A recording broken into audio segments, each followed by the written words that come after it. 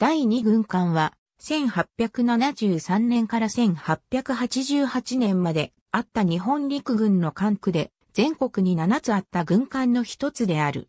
仙台鎮台が管轄した東北地方と時期により新潟県も範囲とした。1875年の第二軍艦。南が仙台の第四士艦、北が青森の第五士艦。1885年から1888年の第二軍艦。南が第三士艦、北が第四士艦。陸軍の管轄地が法定されたのは明治4年8月である。全国4つの鎮台に艦地が割り当てられ、東北鎮台が山形県を除いた東北地方にほぼ相当する地域を管轄した。当時の府県は開廃の頻度が高く、教会は国で示された。1873年7月19日、明治6年大上官布告第255号によって鎮台条例が改正され、東北鎮台は仙台鎮台と解消した。鎮台が管轄する地域は軍艦と呼ぶことになった。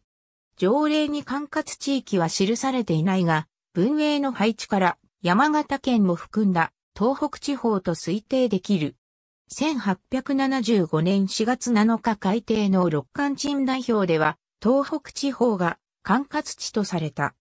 1885年5月18日、明治18年大上官たち第21号によって、鎮内条例が再び全面改正され、軍艦の区割りも変更になった。第2軍艦の主艦は、番号が一つずれ、南が仙台の第3士艦、北が青森の第4士艦となった。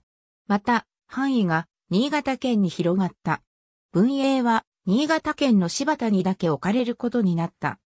1888年5月14日、明治21年直令、第27号に、師団司令部条例が制定されて鎮台は廃止になり、代わりに師団が常設されることになった。